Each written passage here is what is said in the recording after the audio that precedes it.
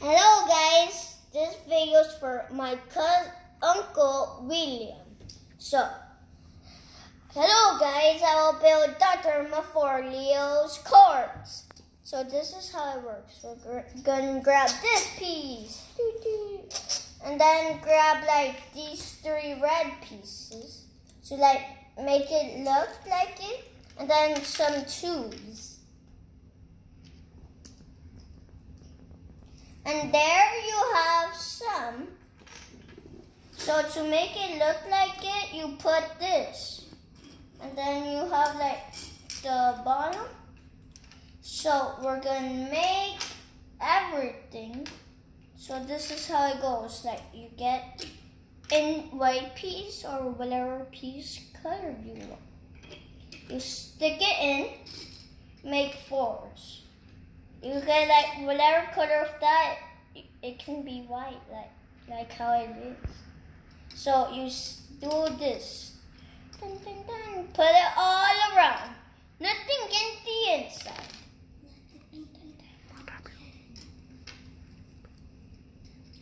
And it goes all over.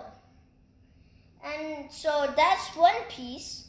And then you, this is to make the light wheel. And then put this there. You have half, and now it's the in engine. So this is how it works. So you get red pieces, put it in the middle, and make it come out. Like if it, the en engine is like coming out.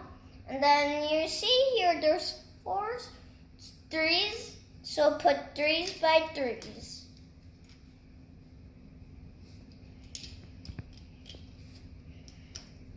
And then you're almost finished, but to make it look complete, complete put the roof.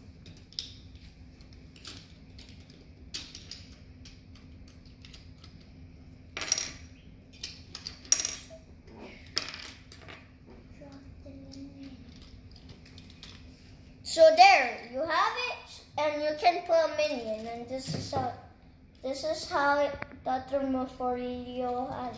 Do do do do do do do do do do